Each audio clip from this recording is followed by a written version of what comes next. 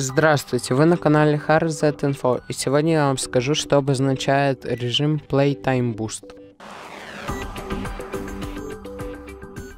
Playtime Boost — это улучшение звука и продление времени воспроизведения.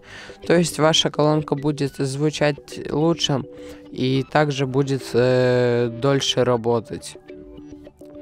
На этом все. Спасибо за просмотр. Ставьте лайки, пишите комментарии, подписывайтесь на канал.